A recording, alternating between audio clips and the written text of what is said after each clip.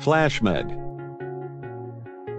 What underlying diagnosis is suggested in a patient with acute renal failure and red blood cell casts in the urine?